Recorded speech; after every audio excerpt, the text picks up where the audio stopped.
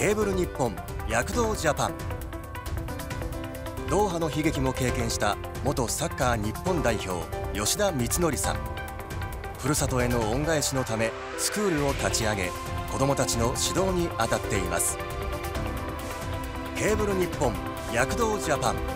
サッカーの街刈谷を再生。お楽しみに。